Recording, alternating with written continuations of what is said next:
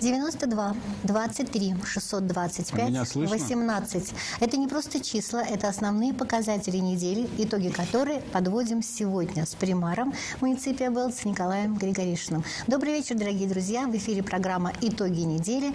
Звоните, телефон студии 88155, дозванивайтесь. Добрый вечер, Николай Николаевич. Добрый вечер. Мы действительно начнем с, с числа 92, потому что в понедельник у вас был прием граждан, на котором было принято 92 посетителя. За- Закончили вы прием граждан в 23 часа. Ну, это сверх нормы, это сверхурочные. У нас ведь сверхурочные не оплачиваются. Николай Николаевич, Нет, вот у нас- 92. Это не очень 92, много. 96. 96, хорошо. Значит, еще 4 добавится к этому. Скажите, пожалуйста, по записи было всего 52 пос- два посетителя. Прекрасно знаете, что вот если говорить о том графике приема с 14 до 19 часов, который предусмотрен и распоряжением примара, и постановлением правительства, вот наи- наибольшее число людей, которые можно принять за эти 5 часов, это 25-30 человек. Типичность вопросов, которые задавали вам горожане, она присутствовала. Это связано с наименьшей информированностью граждан или, может быть, желанием услышать ответ именно от вас? Желание услышать ответ именно от меня. Поэтому я могу только этим объяснить, что такой поток людей. И вы знаете, я уже когда вышел в 23 часа, еще стояли две женщины и говорят, ну примите нас. Я уже, уже на улице, я с ними стоял, беседовал. Они были вдвоем по одному и тому же вопросу. Ну, вопросы разного характера. Я не могу сказать, что вопрос там повторяется. Да, есть вопросы, которые повторяются. Но я не могу, конечно, все решить, но я стараюсь, по крайней мере, решать э, на месте. Вот возник вопрос, я его стараюсь решить на месте, поэтому я привлек к этим встречам всех, э, все муниципальные предприятия, все службы примарии, чтобы присутствовали всегда на встречах, чтобы мы решали проблемы наших горожан на месте и не затягивали их и не оттягивали. Те, естественно, проблемы, которые связаны с социальным жильем, с э, выделением квартир, ну, не могу я сегодня решить этот вопрос. Я признаюсь откровенно и честно, что не строится сегодня в Бельцах жилье, к сожалению, чтобы мы могли как-то э, помогать данного, данной категории людям в этом вопросе. Но я рассматриваю, сегодня ввел я переговоры о том, чтобы надо вернуться к к тому, чтобы мы начали строить социальное жилье. Я думаю, в ближайшее время у нас уже будет какой-то определенный план. Он у меня, в принципе, есть. Я его привез из других городов, как там выходят с данной ситуации. Он у меня есть в черновиках, но я постараюсь его воплотить в жизнь в Бельцах. Э, Мы, говорили, мы начинали говорить о социальном жилье с Татьяной Борисовной э, Параскан, потому что это их епархия, это епархия их и управление социального об- обеспечения и защиты семьи, потому что, может быть, мы будем говорить о жилье, доступном для горожан, потому что социальное жилье – это категория несколько другая, к сожалению, закон еще пока об этом поэтому не принят. Мы говорим о жилье, доступном для горожан, правда? Да, совершенно верно. И тут сюда же надо входить, э, чтобы сюда входила категория э, жилье для молодых специалистов. Потому что если мы сегодня привлечем этим вопросом молодых специалистов, то я думаю, в Бельцах мы, по крайней мере, решим кадровую проблему. Это очень важно. Наиболее часто задаваемый вопрос – это категории горожан, подпадающих под оказание льгот по, на по оплате за вывоз мусора. Я хочу напомнить, что решением Совета 856 в марте месяце было э, решение, оно называется «Об утверждении тарифов на вывоз муниципальных отходов». Действительно, есть, у- есть э, тарифы по вывозу одного кубического метра отходов для лиц физических, юридических, для населения. И э, кто освобождается полностью от уплаты, это ветераны войны и лица, приравненные к ним, полностью от- э, были освобождены от оплаты услуг по вывозу муниципальных отходов. В этом же распоряжении, в этом же решении Совета указана и социально уязвимая категория граждан. И я знаю, что вы очень тщательно подходите к э, подготовке распоряжения примара. Он, э, у меня в руках только его проект, потому что утверждение перечня социально уязвимых категорий граждан для установления льготных тарифов на услуги по вывозу бытовых отходов – это очень серьезный вопрос. И м, сейчас это нужно, чтобы были подключены сюда и работники ДРСУ, естественно, главное финансово-экономическое управление, управление коммунального хозяйства. И вот в этом перечне, который пока только проект, я подчеркиваю, э, у меня только проект в руках, то есть есть э, категории лиц, которые действительно пользуются льготным тарифом или будут пользоваться льготным тарифом. Насколько серьезно вы будете подходить? Вы каждую категорию рассматриваете отдельно. Это и лица с тяжелыми ограниченными возможностями, дети с такими же возможностями до 18 лет. Когда мы увидим такое распоряжение уже в готовом варианте? Это, наверное, будет все-таки скоро. Я думаю, что это будет в ближайшее время, потому угу. что мы это обсуждали, да. Обсуждаем и то есть Думаю, пока... В самое ближайшее время это будет сделано. Да, то есть пока еще нужно, можно оплачивать по тем квитанциям, которые приходят, а после ДРСУ э, сделают перерасчет по квитанциям Совершенно согласно верно. новому распоряжению о тарифах по перечню услуг для социально уязвимых категорий населения. Я говорю еще о том, что вот сегодня встретила инвалида первой группы Габи Габриэла, она задала такой вопрос. Почему на почтовом отделении номер 7 берут 2 лея за оплату? Оплату. И имеется в виду квитанция за вывоз э, муниципальных отходов. Мы с мужем оба инвалиды. Как нам жить на мизерную пенсию? Да, нам, нам помогли с обустройством квартиры. Но прошу вас, разберитесь с материальной помощью также. В прошлом месяце получили, а в этом не дают. Почему?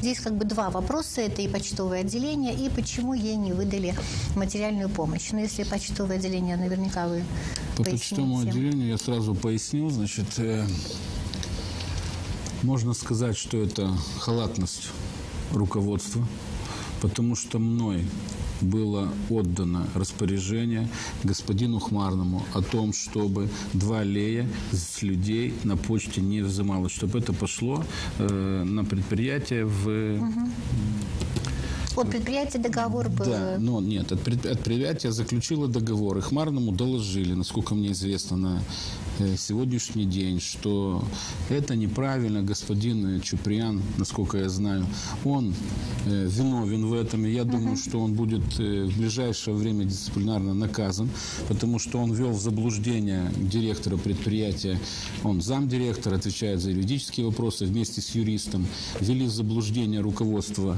ДРСУ о том, что это незаконно, что с людей надо взимать два лея. Я говорю, что это неправда, что были превышены полномочия как юриста, так и замдиректора э, о том, что эти два лея должны было ДРСУ взять на себя, и они не должны были взиматься почтой с людей, с наших горожан. И вчера э, господин Хмарный получил э, на этот счет мои четкие указания, и вчера до вечера, насколько мне было известно, дополнение к договору с почтой было подписано соглашение с 1 июля 2 Лея взиматься с людей не будут. Но еще раз повторюсь, что в этом вина э, ни в коем случае я ни с себя не снимаю никакой ответственности. Это и мое упущение, потому что мне э, э господин э, Хмарный доложил, что два Лея с людей не взимаются. Но вот сейчас вы говорите, и вчера я разбирался уже по этому поводу, мне и на почту написали, потому что я читаю свою почту постоянно, мне и на почту написали люди, что взимаются два Лея. Вчера было создано экстренное заседание по этому вопросу, и я сказал, чтобы э, подошли очень серьезно, и виновных должны быть наказаны, потому что из-за двоих человек, таких как замдиректора Чуприян и юрист, пострадал весь город. По-другому я назвать не могу. Из-за халатности двух чиновников. Ну, наверное, предприятия, потому что не все имеют возможность оплачивать, и когда еще просят два лея, то это тоже Совершенно верно. но вы понимаете, Нет доходов. Совершенно верно вы говорите, но просто вы понимаете, что два человека ввели в заблуждение у директора. Директор виноват в том, что он не проверил данную информацию. И когда они мне доложили, что это незаконно, то я сказал, они законы плохо знают тогда. И надо еще тогда учиться обратно вернуться в университет. Ну, я думаю, что у нас будет такая возможность. Юрий Николаевичем есть договоренность на среду. Мы встретимся с ним в этой же студии, только будет программа «Диалог», и мы узнаем более подробно инфо информацию именно от него. Многодетные семьи также обращаются, очень часто просят уточнить, какие пособия им положены. Я сегодня перед эфиром заглянула в наше управление социального обеспечения защиты семьи, и мне сообщила э, Надежда Степановна Крыжановская, что для того, чтобы выяснить все пособия, которые положены многодетным семьям, вам необходимо обратиться к, в, в управление с заявлением, к вам придут специалисты на место и пояснят абсолютно точно, какие пособия сегодня положены многодетным семьям. Э, буквально сразу же к нам, нам, нам пришел вопрос, точно так же. Я инвалид первой группы, раньше платила 6,40, а сейчас 11 лев. Из дома не выхожу и очень мало выкидываю. Будут ли льготы? Оставлен телефон, с вами свяжутся. Нет, и... я могу ответить да, сразу конечно. по этому вопросу. Э, человек, тут пришла квитанция за два месяца, за май и апрель, поэтому Да. и пришла сумма в 12 леев. Просто внимательно посмотрите квитанцию, что там оплата за апрель и май, за два месяца. Спасибо большое. Ему есть телефон, так что все равно мы свяжемся. Если нет, то передадим этот, этот вопрос еще Юрию Николаевичу, когда он будет у нас на эфире. А, Николай Цуркан прислал нам вопросы с Фейсбука, но мы к нему вернемся чуть позже, потому что это вопрос касается спорта. Немножечко позже. Не переживайте, все ваши вопросы мне передают 88155. Николай Николаевич, целый ряд вопросов по водоканалу. А, Почему не снимают пломбу бесплатно, имеется в виду? И почему не занимаются поверкой счетчиков сами, а, то есть само предприятие водоканал? Ну, я объясню этот вопрос, потому что э, может логично где-то снимать пломбы, логично проверять счетчики за счет водоканала, но это если бы было включено все в тариф. Тогда, да, естественно, снимали бы бесплатно, и также на поверку отдавали бы счетчики, но в тариф за оплату воды не включено. За водопотребление, Да, за да. водопотребление не включено э, данный вид услуги. Поэтому это все осуществляется за счет абонента. А, Вы приехали на передачу буквально после заседания комиссии по итогам работы счетной палаты. А, О некоторых результатах, если можно сообщить, я говорю о той счетной палате, которая работала по водоканалу и не только. Ну, э, счетная палата работала по всей республике, и в том числе и в муниципе Белс. Э, Что я могу сказать? Это сегодня было предварительное слушание, э, где собрались наши специалисты, представители счетной палаты, зачитывали свой акт. Наши специалисты по каждому вопросу, где были согласны, где не согласны. Э, В споре рождается истина, где согласились, сразу убирали, где не согласились. Но окончательное заседание счетной палаты, это будет в 20-х числах в Кишиневе, когда уже по- полностью итоги по всей стране будут. И э, когда соберется уже президиум, тогда уже будут выводы счетной палаты. Ну, а у нас обязательно будут опубликованы на сайте прямые, как обычно, все результаты счетной палаты. Э, Несколько вопросов по поводу э, дорог. Я хотела бы не только и не только, но к дорогам вернемся позже. До эфира я хочу сказать точно так же. Связывалась с Юрием Николаевичем Хмарным и просила, чтобы он пролил свет на ситуацию с задержкой заработной платы. Здесь вопросы и водоканала, и заработной платы. Сейчас выплата идет, мне сказал Юрий Николаевич, за май месяц. По сути дела, задержка в один месяц. И напомню, что когда до того, как он пришел на эту должность, задержка составляла 4-5 месяцев. Сейчас это ликвидируется. И вот эта за- задержка всего в один месяц, ну, всего, наверное, тоже сказать так, так сложно. Но как ситуация на водоканале несколько другая. Скажите, пожалуйста, какова задолженность сейчас на водоканале и как вообще подаются заявки водоканалам на выдачу заработной платы людям? То есть это не просто желание или нежелание директора выдавать э, зар- заработную плату. Там есть своя схема в связи с тем, что счета заблокированы. Совершенно верно. Директор здесь ни при чем. Э, в данном случае по водоканалу тут собирается, э, задолженность собирается за два месяца э, на водоканале. Потом подается в суд, и только по решению суда выдается заработная плата. Ну, бывает, что задержка это только из-за судебных разбирательств. Но суд, суд всегда идет по последним данным идут навстречу, за два месяца они разрешают разбл- разблокировать счета, и людям выдается заработная плата. То есть один раз в два месяца мо- Совершенно верно, можно но получить тут- сразу за два месяца. Совершенно верно, но, э, опять же говорю, тут все решает по решению суда. Вот суд назначили, к примеру, на 22 он состоится 22 никак не раньше. Ну да. Но бывает такое, что судья может и заболеть, и перенести заседание. Все по решению суда. Ну, сегодня невозможно обойтись, не обойтись без вопросов, касающихся дорожного ремонта. Э, вопрос задает Юлия, вопрос читателя газеты СП. Мы сотрудничаем очень хорошо с газетой СП. И, кстати, сразу всем СМИ хочу сказать, если вы хотите получить информацию достоверную, подробную, э, с ответом, который действительно соответствует действительности, а никак не э, домыслы, то можете оставить ваше сообщение в письменном виде либо в 323 кабинете, сайте, либо отправить на адрес dsrp.primaria, э, и вам ответит. Ваше письмо будет зафиксировано. Запишите, пожалуйста, адрес dsrp.primaria собачка balti.md. Итак, вопрос. Можно ли указать сроки проведения работы на улице Штефана Челмари? Конкретный, наверное, можно было бы, или то, что касается договора. Но прежде чем вы ответите на этот вопрос, я очень прошу показать э, оператора три фотографии, которые сняли мои коллеги это улица Штефана Челмари. Если можно еще, да, покажите поближе, пожалуйста. Угол улицы Первомайской, где ведутся вот такие ремонтные работы. Вот, такая, вот так состоят, обстоят дела у нас сейчас на этом перекрестке. Тут прекрасно все видно, как ходят рабочие. И слой асфальта уже был закончен. Перекресток. Кстати, знак пока еще стоит, его никто не повалил. Вот такова ситуация. Николай Николаевич, что вы можете пояснить и зависят ли от этого сроки ремонта улицы Штефана Челмари? Давайте постепенно, да? Да, конечно, конечно. Давайте Возьмите. начнем. Это очень красочный фотографии. Начнем с этого вопроса, да, с красочных картинок? С красочных картинок, потому что люди говорят, куда смотрела Примария. Сначала сделали дорогу, а теперь они взяли и все это Знаете, раскурочили. Легче всего, конечно, в этом случае винить э, Примарию, но я бы сказал по-другому. Последние 25 лет, наверное, дороги никто не делал. И когда мы после 2015 года начали делать дороги, и естественно, что сегодня столько возникло вопросов. Что касается конкретно этого случая, что я могу пояснить? Я могу пояснить, значит, если разбираться со стороны профессионалов э, Четнорда, ну, вы знаете, что было времени наверное, много, да, чтобы они проверили свои сети. Угу. И не знаю, почему так произошло со стороны Четнорда, но они сделали опломбировку своих э, труб, и трубы не выдержали, дали течь.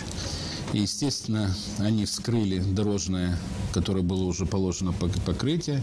И вот этим видим сегодня вот эти картинки. Что я могу сказать? Что я могу сказать? Это не вина э, Примарии ни в коем случае. Это и не вина Четнорда. Но здесь просто чистое хамство. По-другому я сказать не могу. Потому что руководители Четнорда не соизволили поставить в известность руководителей э, города, то есть руководителей Примарии. Не меня, не зама моего, не э, Зиньковского, кто отвечает за это, не Брагарь, но и специалистов никого. Э, как это называть?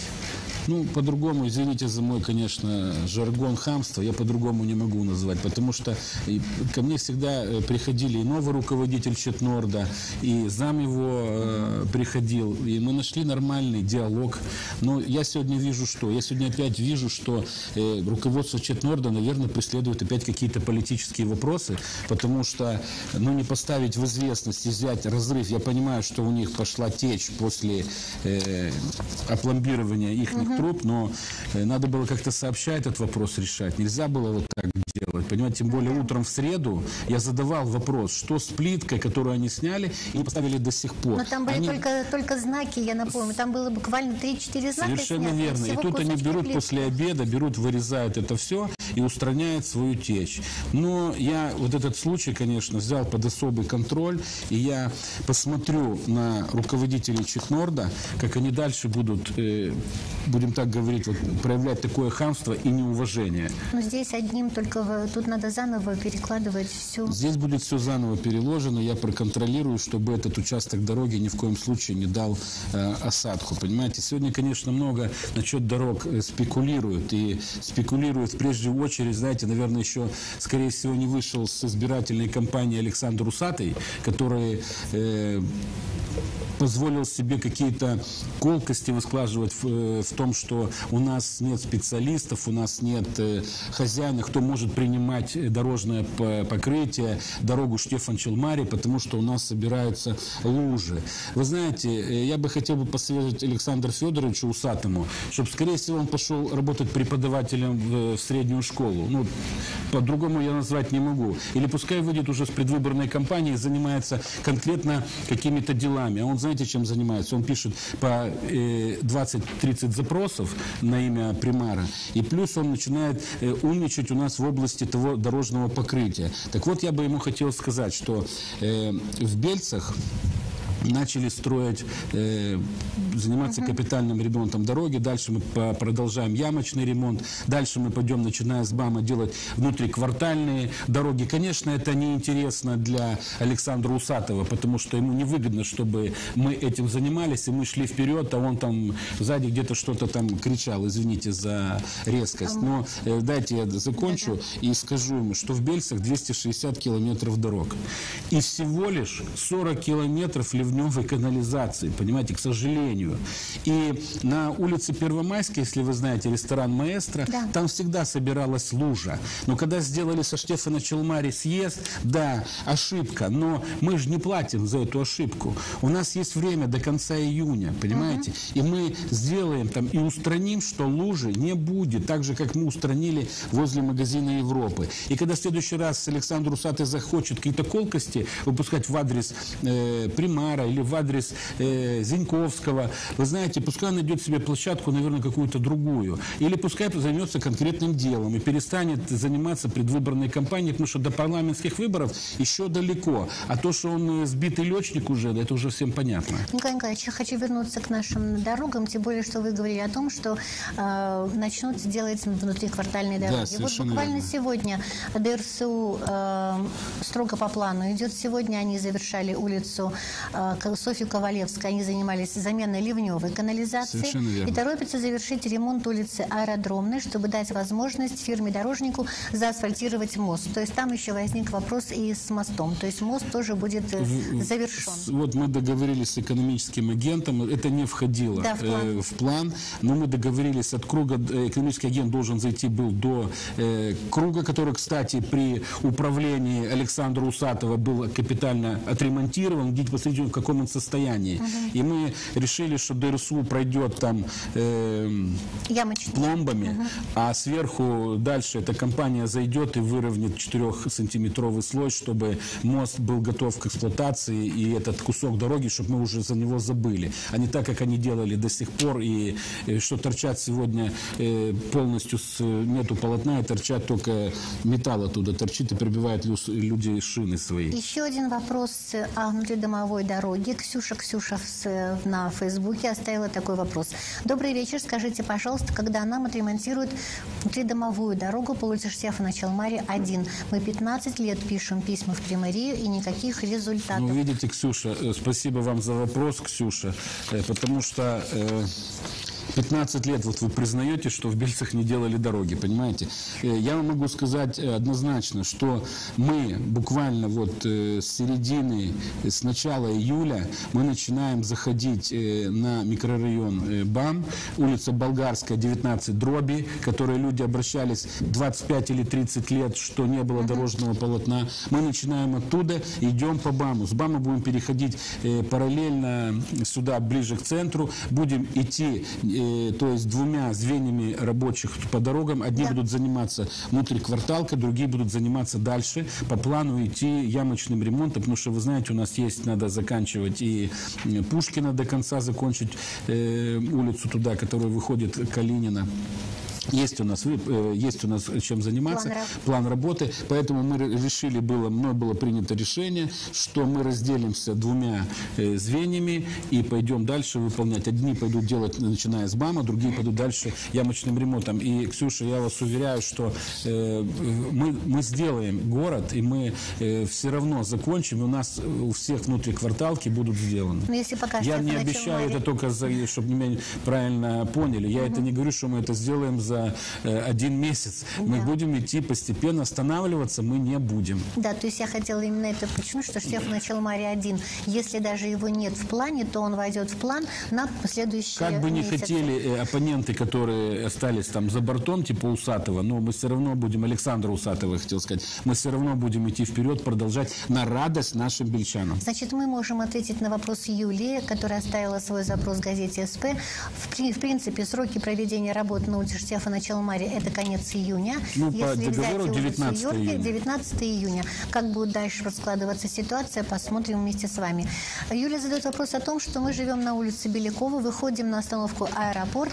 Вечером после семи уехать очень тяжело. Маршрутки «хочу, еду, хочу, не еду». Сегодня ругались с первым номером маршрута. Не хотел ехать на аэропорт. Тро- троллейбус? Нет, нет, нет, э, автобус. Это еще автобусы, Аэропорт. потому что аэропорт, да. Купили проездной на июнь, только деньги выкинули. Мы оказались заложниками этого ремонта. Где узнать сроки сдачи дороги, что делать с проездными? Юлия, мы обязательно ответим на ваш вопрос после короткой рекламы. Не уходите.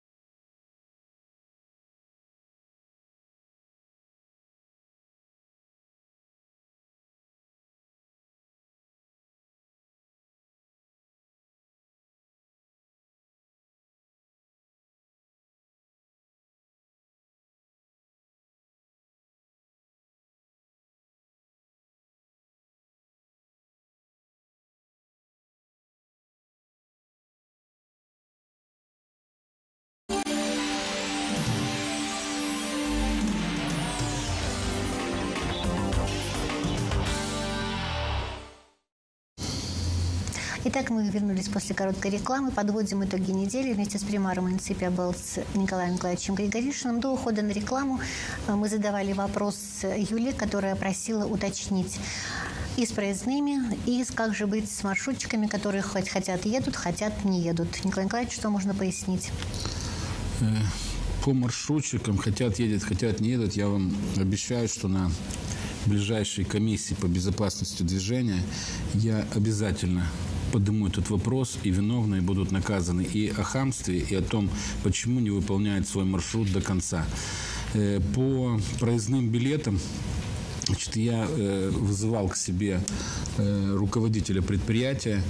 Э, они соберут комиссию, и комиссионно должны будут сделать решение о том, чтобы, я так думаю, чтобы компенсировать э, не в денежном выражении, угу. а людям заменить проездные билеты на следующий месяц, к примеру. Хорошо. Когда дорогу запустим, мы этот вопрос уже То есть полностью... будем ждать решения комиссии, да? Э, да, решение комиссии обязательно мы будем ждать, но угу. я думаю, что комиссия примет правильное решение. И когда запустим дорогу, этот вопрос мы поднимем заново. И люди, которые пострадали от ну, да. того, что была закрыта дорога и купили проездные билеты, я думаю, что мы найдем смотрим, найдем выход из положения.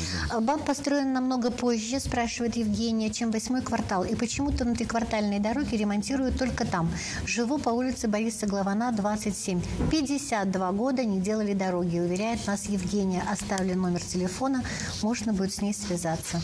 Что Евгения, ответим? я вам отвечу... Э Видите, у нас люди бельчане, сколько я говорил, ну невозможно наших бельчан обмануть. Вот э, на таких, как Евгения, держатся бельцы, потому что вот когда мой оппонент говорил, что они предыдущие сроки, когда он управлял э, вице-примарем был усатый Александр, и что они делали дороги, он, видите, опять врал. 52 года Евгения говорит, что дороги не делали.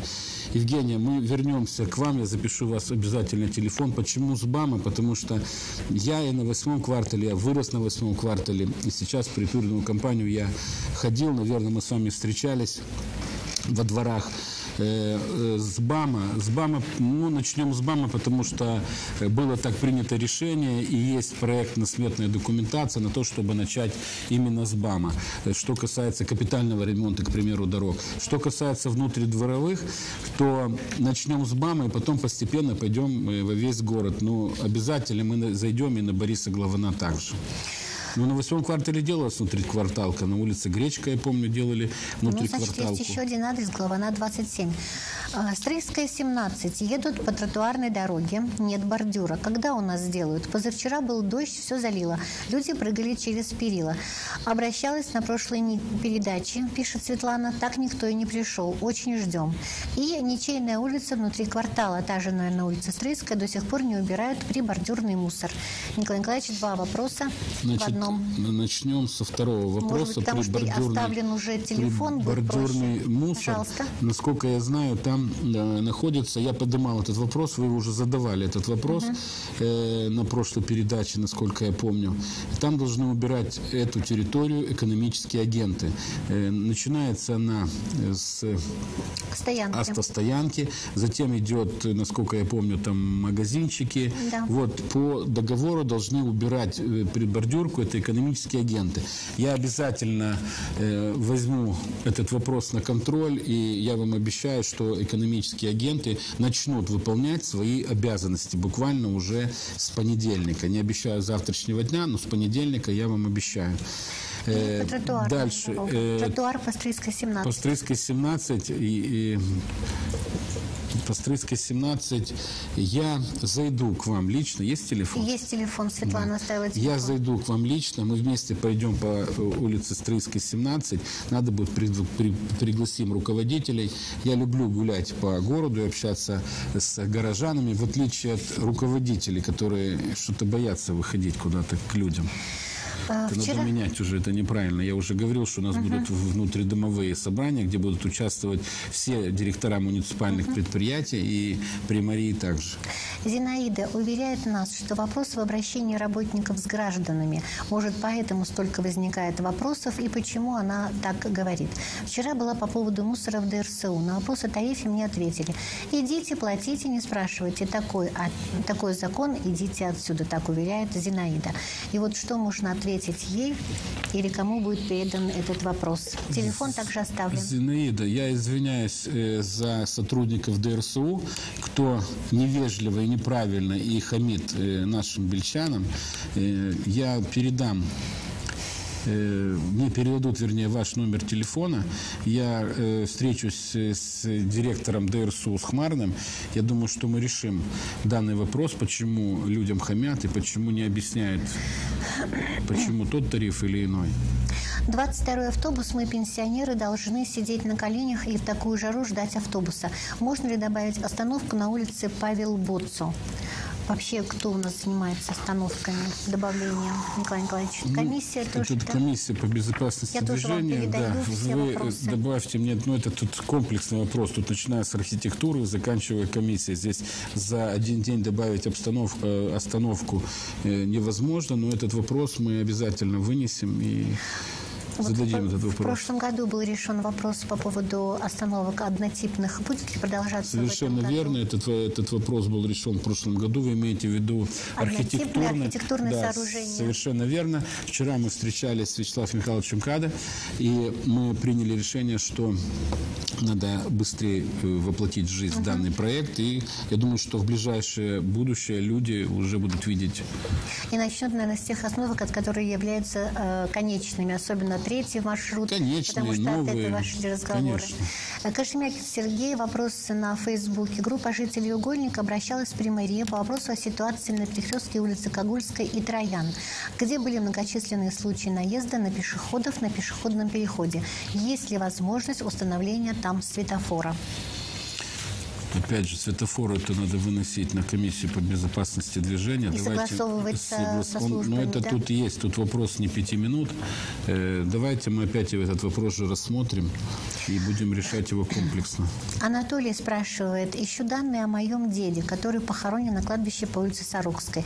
Ни даты рождения, ни даты смерти не знаю. Он скончался задолго до моего рождения. Знаю только фамилию, имя и отчество.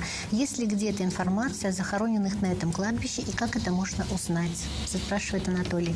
Ну, скорее всего, информация, э, я сейчас сомневаюсь в правильности своего ответа, но по логике вещей, э, я думаю, что информация должна быть или же э, на предприятии ДРСУ, ДРСУ, кто занимается кладбищем, или же это должна быть э, в архиве у нас, архивная какая-то должна быть запись. Да, я очень прошу, Анатолий, вы оставляли свои данные газете СП. Если вы хотите получить подробный ответ, обратитесь к нам, и мы обязательно ответим вам. Оставьте хотя бы свой номер телефона, и тогда можно будет с вами связаться, когда... А пока вопрос, наверное, будет передан в архивную службу и в ДРСУ. У нас еще есть вопросы. Я говорила, что Николай Цуркан с Фейсбука задавал такой вопрос. Вопрос к примару. Где спорт в Бельцах? Почему к чемпионату мира ничего не сделано? Городок или что-то подобное? Почему футбол забросили вообще? Давайте я отвечу на этот вопрос господину Цуркану. Вы знаете, наверное, господин Цуркан, что Ренат Усатый в прошлом, э, когда был у нас э, чемпионат э, Европы по футболу, мы на площади собирались и сделали там городок, фан-городок, там торговалось напитками, кухней. И знаете, к моему сожалению, Он был пуст почти. ну, не был он пуст. К нашу, э, наши оппоненты пожаловались э, э, в ЧНЯ, в прокуратуру ЧНЯ, в следственные органы, на каком основании выделили под... э, под там большой экран был, ну там осуществлялась, естественно, торговля. На каком основании, почему конкурса не было на выделение места на площади для такого развлекательного э, мероприятия. И тогда э, Ренат Усатый был мэром, к нему задавали очень многие вопросы с правоохранительные органы. И вы знаете, к моему сожалению, я сейчас точно не могу утверждать, но там вроде бы даже возбуждено уголовное дело. Э, То, что почему мы не подготовились к чемпионату мира, вы знаете, ну, может, это мое упущение, что конкретно мы не подготовились, не сделали какую-то площадку э, для того, чтобы у нас на больших экранах смотрелся футбол. Но напомню э, господину Цуркану, эм, в, э, у нас в Примории, то есть в муниципии, нет в собственности ледов, к примеру, и больших таких, как это должно осуществляться, площадок. Мы всегда покупали, что касается концертов, мы всегда э, покупали, то есть мы, я не говорю сейчас примария, все покупал лично Ренат Усатый и устанавливал в городе. Чтобы установить такой LED, это надо э, ну, минимум в районе 5000 евро. Это просто звук и И экран. и эти экраны, да, там он состоит из э, восьми там ледов. Сегодня, естественно, в Приморье не запланированы данные денежные средства, и за счет Приморьи сделать нельзя. Ну и плюс то, что говорили, э, хватит э, нам развлечений, дайте нам что-то, или дороги делайте, или еще. Мы пошли по, по пути делать дороги. А то, что если вот э, господин Суркан говорит, давайте мы встретимся, поговорим на эту тему, мне самому интересно. Вы говорите, где спорт в Бельцах?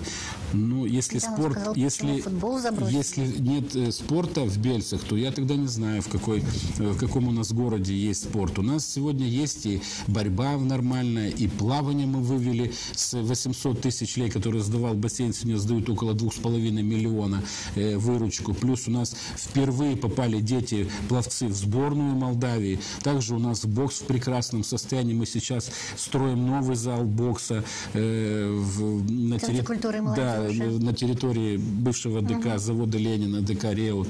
Выделены уже фи- финансовые туда средства. Также мы очень много э, уделяем внимания нашему баскетболу, настольному, Настольному теннису. теннису. Совершенно верно. Как же, господин Цуркан, вы так несправедливо говорите, что в Бельцах нет спорта. Это, по крайней мере, несправедливо. Если сравнивать до 2015 года и после 2015 года, у нас в Бельцах есть спорт. Насчет того, что почему забросили футбол, я так понимаю, это почему я лично забросил. Ну, скорее всего, да, потому что не сказано. Господин Суркан, ну я вам отвечу так. Э, Если вы помните, то я руководил футбольным клубом «Заря». При мне футбольный клуб «Заря» выиграл Кубок э, Молдовы по футболу. Также он участвовал в европейских кубках, как и в позапрошлом году, и в прошлом году. Я руководил, и он, все было нормально. Но потом э, вы же телезрители, вы же болельщики сказали, что э, Григоришин, уходите из футбола, хватит путать политику и спорт. Э, я вышел из футбола, из футбольного клуба «Заря». Да, я встречаюсь с футболистами, да, я встречаюсь с руководством. Меня просят вернуться обратно в команду, но э, сегодня я не могу этого сделать, потому что я сегодня э, примар, и конфликт интересов я не имею права. И то, что финансы, может, человек спрашивает за финансы, но давайте опять же встретим, обсудим. Может, вы, господин Суркан, хотите поучаствовать с нами вместе по финансированию футбольного клуба «Заря». Давайте поучаствуем. Я вам могу напомнить, что в школе футбола обучается больше 200 детей. И то, что дети ездят сегодня на турниры, все за счет Рената Усатова. Транспорт бесплатно, питание в день транспорта бесплатно. Э, тренировочные процессы проходят бесплатно, без денег. Плюс э, форма игровая у детей. Также мы одеваем школу нашу. Это больше 200 детей. Э, тоже посмотрите, это расходы. Поэтому спорт никто не оставлял. Я говорю, если есть какие-то личные, почему я ушел с футбольного клуба «Заря», плюс, наверное, вы знаете, что произошло, что бухгалтерию, счета бухгалтерии все арестованы в футбольном клубе «Заря». Вся документация изъята ЧНЯ по какой-то жалобе, что в футбольном клубе «Заря» тогда был Николай Григоришин. Николай Григоришин ушел. Николай, давайте вернемся к детям. Тем более, мы остались еще одно число у меня, 625. Надеюсь, вы это помните прекрасно, потому что это то количество детей, которые, опять-таки, подчеркну, бесплатно будут отдыхать этим летом в лагере «Олимпиец». Официальное открытие первой смены прошло 13 числа, 11 первый заезд. И вот каковы ваши впечатления? Хотя нет, сначала я скажу. Когда вы вышли из столовой, вы даже там дол- надолго не задержались. Вы сказали, все, я спокоен за питание детей. Почему вы так сказали? Вы знаете, я увидел тот коллектив, который находился на пищеблоке. Я этот коллектив знаю, потому что я хожу по учебным заведениям, по нашим школам. Э, Также посещаю постоянно пищеблоки, проверяю, в каком они состоянии, в какой готовности. И который кол- коллектив тех людей, которые я увидел в нашем детском лагере, Вы знаете, поэтому я сказал, э, ну, это прекрасные профессионалы своего дела. Это дети, я уверен, будут э, накормлены. Э, дети будут, то, что добавка будет у детей постоянно и всегда, я точно знаю, но качеством еды они будут всегда довольны. Тем более за, заведующая столовой, я там увидел Марину Григорьевну Асаяну, которая правильно ставит работу свою, требует от подчиненных и к себе всегда очень строга. Ну и те люди, которые осуществляют непосредственно приготовление пищи, это высокие профессионалы своего дела. И я им очень благодарен, что они летний период, мало того, что они работают весь учебный год, да, у нас, то, что они летний период э, решили посвятить э, свое умение в приготовлении пищи, чтобы наши дети э, были накормлены, сыты, для меня это очень большая радость. И я горд за то, что у нас сегодня есть такое питание, так будем говорить, Качественное, качественное да, питание вкусное. и вкусное питание, что наши дети будут сыты. И плюс то, что вы сказали, 625, да, в прошлом году было 425 детей, и нами было принято решение увеличить э, на 200, на, было 3 заезда в прошлом году, в этом году мы увеличили на 4 заезда и на 200 детей больше, э, и лагерь будет работать у нас до э, 4 августа. Ну, дальше, скорее всего, мы будем рассматривать вопрос, что заедет еще одна смена спортсменов в этот летний лагерь.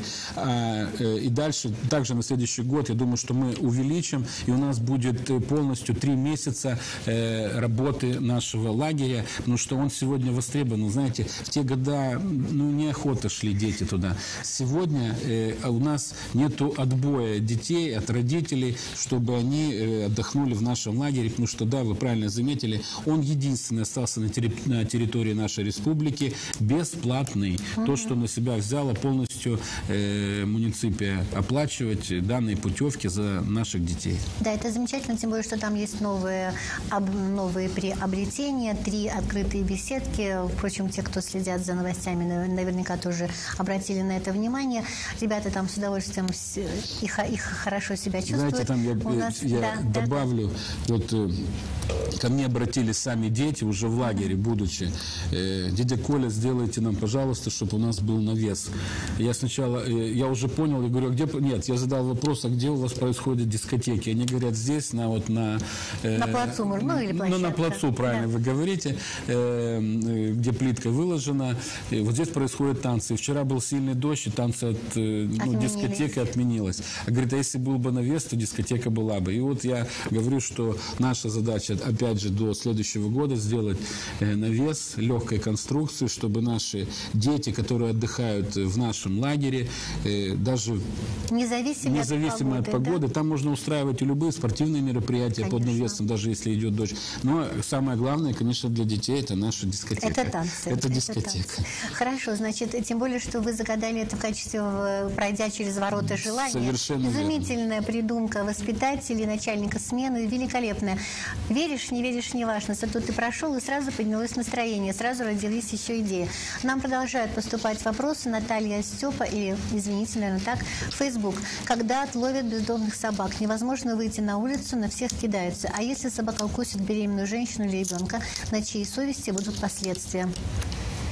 И Александр Бельцы сразу спрашивает тоже с Фейсбука, будете следить за чемпионатом мира по футболу? А может, вы уже следите?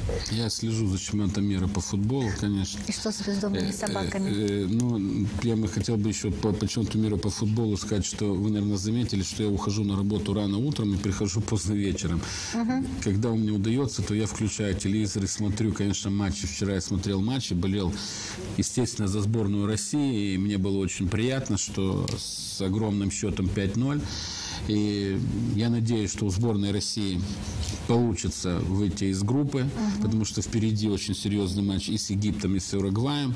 Э, Думаю, что тренерский штаб поставит все правильно, проставит акценты, и думаю, что сборная России выйдет. Насчет собак. Да.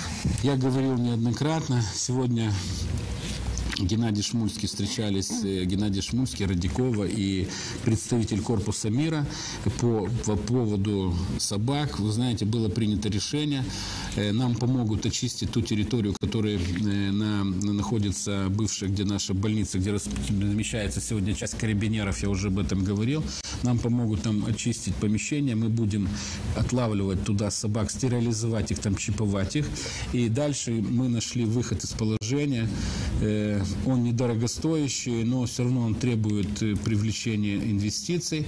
Это мы наблюдали такой, э, будем так говорить, ну, питомник или временное содержание собак.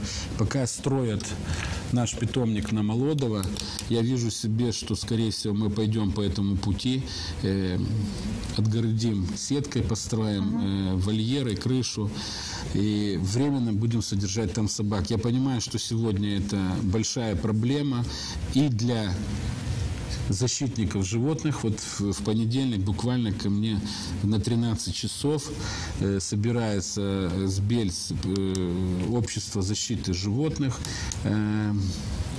Там будут представители разных профессий, так понимаю. Сегодня мы созвонились, вернее, они мне позвонили на мой мобильный телефон, и мы договорились о встрече, потому что им нужна срочно эта встреча. Я пообещал, что в понедельник я привлеку всех еще специалистов, чтобы мы комплекс решили эту задачу. Ксюша возвращается к вопросу. Э, спасибо вам за понимание. К сожалению, я не смогла отправить вам фото нашего двора после вчерашнего дождя. Его ужас, будто после бомбардировки. Наши детки бегают по лужам и грязи, а не по чистому двору. И грустный смайлик. Ксюша, я приду к вам во двор, вот как я приду на Стройскую 17, так я приду к вам во двор. Я не могу пообещать, э, есть телефон же, да? А, нет, она на Фейсбуке, может быть, предыдущий, э, не помню, оставила или нет. Э, Ксюша, если можно, оставьте ваш номер телефона. Э, я приду к вам во двор, мы вместе выйдем во двор и посмотрим, что можно сделать, так же, как и на Стройская 17. Но еще раз повторю, дорогие бельчане, чтобы сделать все дороги в нашем муниципии, нам надо 2,2 миллиарда лей. Но это по минимуму, а так в идеале 3,5 миллиарда лей. Естественно, вы поймите, что этих денег сегодня э, в бюджете нет. У нас всего бюджет составляет 500 миллионов лей. На дороге выделяется 15 миллионов с дорожного фонда, 10 миллионов мы выделили с э, муниципального с муниципального э, бюджета. Также э, 3 миллиона мы сейчас выделили, вот, чтобы закончить от, э, от круга до конца моста. Я все понимаю. Я вам говорил и говорю, я за то, чтобы у нас дороги были идеальны. Давайте начнем постепенно. Если бы 30 лет делали хотя бы по две дороги в год, у нас сегодня не было бы такого плачевного состояния. Я говорю, да, я прошел э, не все, но большую часть наших дворов в городе. И я видел, в каком плачевном состоянии находятся наши дворы. Я был на Олега Руссо, я был на улице Болгарской, которую я сегодня вам говорю неоднократно, что 30 э, лет там никто ничего не делал. Там ну, никто не может выйти, там дети наши играют и ломают себе, к сожалению, ноги, понимаете. Поэтому говорю, давайте начнем постепенно что-то делать. И мы начали делать в это, э, дорогие бельчане, видите, что мы начали делать. Я понимаю сегодня вашу критику, ну, наверное, не критикую тех людей, кто ни, ни, ничего не делает. Вот, э, других, которые были до 2015 года, не критикуют, знаете. Но нас сегодня критикуют, значит, мы делаем. Я вам обещаю, что мы будем продолжать в этом же, э, как мы начали наши запланированные все дела по дорогам, мы будем их продолжать. Мы не будем останавливаться. Надежда с тревогой спрашивает, к кому обратиться с вопросом по борьбе с клещами. Мы живем по улице Телевизионной, рядом посадка и высокая трава. Каждый день вытаскиваем из детей по 3-4 клеща. Помогите, мы не знаем, к кому обратиться. Везде от нас Обратиться надо в Центр общественного, Центр общественного здоровья. здоровья. Естественно, это э, они должны были сделать э, заявку, обработку. Э. Мне просто с, как сейчас ну, сложно связаться с Надеждой. Обращалась ли она в Центр общественного здоровья, ну, то, что раньше называлось санэпидемстанцией. Если, Надежда, вы туда не обращались, то позвоните, пожалуйста, и уточните. Но это вопрос Центра общественного здоровья. Э, целый ряд вопросов от Людмилы. Нет разметки пешеходного перехода, тротуар заделали не до конца. От Каля Ешелор 107 до остановки.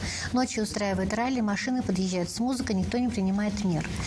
Также на остановке «Восход» в сторону центра понастроили ларьков. Нет нормальной остановки. Люди смеща- э, помещаются под навес во время плохой погоды. То есть не помещаются под навес. И там, где магазин Топольницкого, ходить невозможно. Ямы и лужи. Уважаемый Николай Николаевич, может, есть возможность приехать и пообщаться с нами. У нас очень много вопросов накопилось. Оставлен номер телефона. Людмила, я был у вас в предвыборную Пожалуйста, кампанию. Николай И Николаевич. да, естественно, я вырос э, остановка «Восход». Все, мое детство прошла. Я ходил в школу через остановку «Восход». Детский сад меня мама водила через остановку «Восход». Она всегда была для меня, ну, в моем детстве открытой, как нормальная остановка. То, что происходит сегодня, ну, э, Людмила, вы должны, давайте быть откровенными, что это не вчера Григоришин сказал, и там стали, появились эти все ларьки и магазинчики. Это появилось, наверное, э, минимум лет 15 назад. Или, Ну, ну, не, может, 10. Может, 10 лет назад. Естественно, наверное, у людей есть разрешение на строительство, акт ввода в эксплуатацию. Естественно, что я могу проверить законность построек на данной остановке. Это я проверю, я вам обещаю. Дорогие телезрители, время нашей программы подходит к завершению. Но у нас еще есть несколько вопросов, на которые, Николай Николаевич, вы ответите. Здесь. Виталий Стоян, Facebook. Когда на стадионе будет включено освещение? Это блиц вопросы, блиц ответы можно.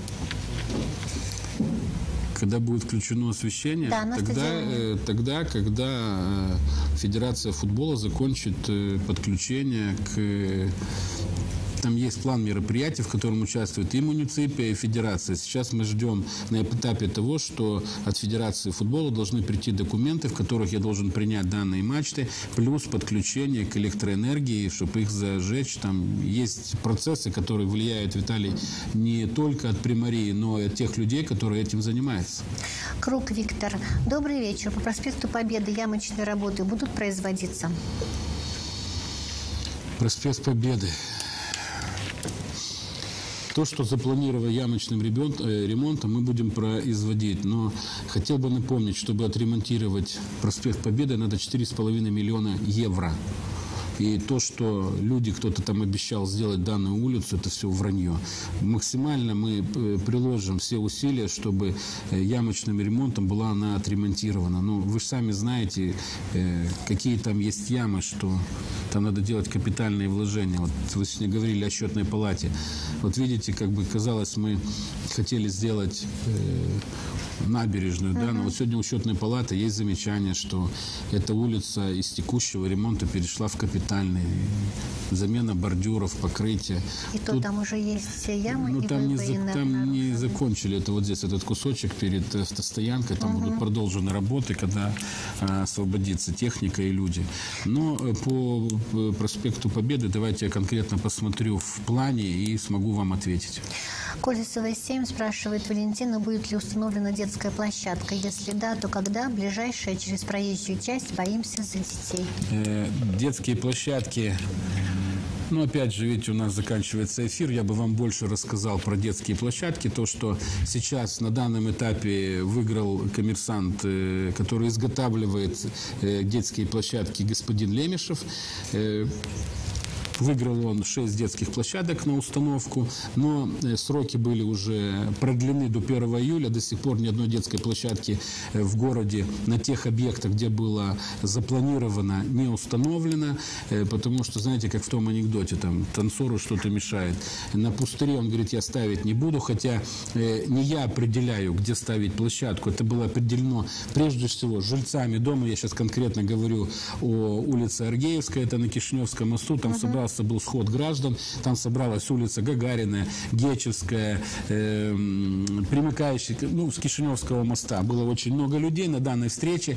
Это было э, год назад ровно. И люди определили местоположение э, в районе профилактория. Ну, будем так говорить, что этот пустырь. Да, естественно, когда начнут устанавливать детскую площадку, э, мы поставим забор от проезжей части, чтобы там большое скопление детей могли себя нормально чувствовать. Но данный коммерсант, он был у меня в кабинете. Я думал, ну, он начнет и приступит к работам. Данный коммерсант что-то сегодня ищет, какие-то отговорки. Я не могу понять, какие, но я бы хотел бы его предупредить, что э, в договоре есть и штрафные санкции, что он будет оплачивать эти штрафные санкции.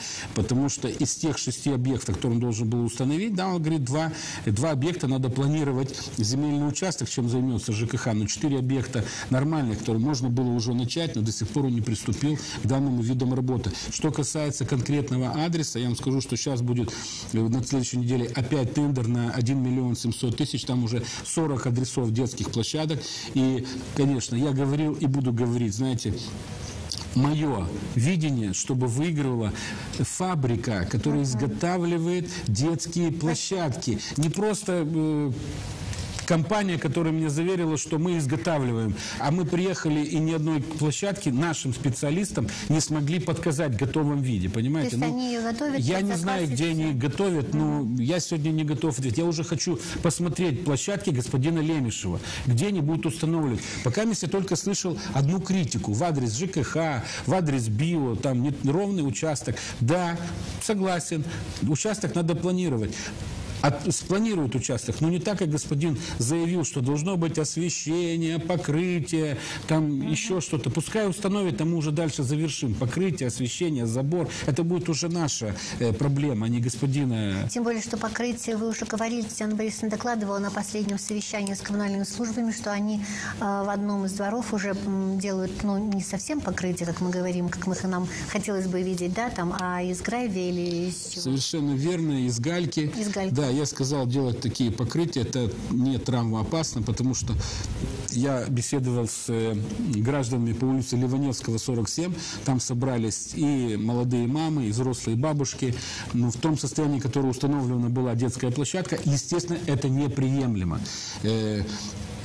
Горка расположена, из гор... а, из... я говорил уже и на коммунальных слу... э, службах совещаний, я сделал замечание руководителю, э, что детская горка установлена, оттуда торчит булыжник, как можно кататься, на что мне сказали, что она не завершена, но если она не завершена, надо было завершить еще тогда, когда устанавливали. Но сейчас мной было вызвано распоряжение, что касается э, директора предприятия «Параскан», она должна в срочном порядке устранить те недостатки, которые были упущены при э, монтаже детских площадок площадок, где надо покрыть покрытием, покрыть покрытием, где надо добавить игровые элементы, как в случае Белоусова 47, да, там не позволяет размеры добавить больше элементов, потому что маленький кусочек отведен под детскую площадку, но сзади дома добавили там большая детская площадка, я точно не помню адрес, но сзади э, Ливаневского 47 uh-huh. внутри домов.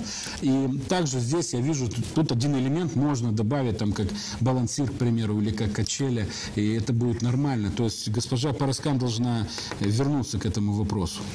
Николай Николаевич, 18 осталось последнее число. Это более 18 мероприятий, которые были у вас запланированы на, эту неделю. Конечно, их было больше, но тем не менее, э, три э, было дня, которые можно назвать праздничными днями. Это у нас 14 июня, Международный день доноров крови. Это 15 июня сегодня. Это дата 129 лет со дня смерти Михаила Минецкую. И 17 июня профессиональный праздник медицинских работников и фармацевтов фармацевтов. В преддверии дня и праздничного дня медицинских работников и фармацевтов, что вы пожелаете? Вы знаете, прекрасные люди, врачи, медсестры, обслуживающий персонал э, нашей больницы, всех медицинских учреждений. Э, вот я сегодня, когда поздравлял их э, в центральном нашем ДК, у меня мурашки шли по телу от того, что вот люди э, но ну, никто не замечал, ник, угу. ни, никто не обращал внимания до 2015 года, до нашей больницы, что творилось у нас в муниципальной больнице. Сегодня, слава богу, мы там наводим порядок, и вы, наверное, все видите, что убрали этот базар, который был в фойе первого этажа, выделили деньги и на реконструкцию первого и второго этажа, э, прекрасно э, выделили в прошлом году деньги под стоматологическую нашу клинику, в этом году выделили под э, фасад стоматологической клиники, выделили на, пере, на перенос перинатального центра отсюда из центра на в нашу больницу 12 миллионов лей. Все прекрасно. Но сегодня, если вы заметили, по городу, если кто-то уже ездил, до завтрашнего вечера должны развесить баннера по нашему городу.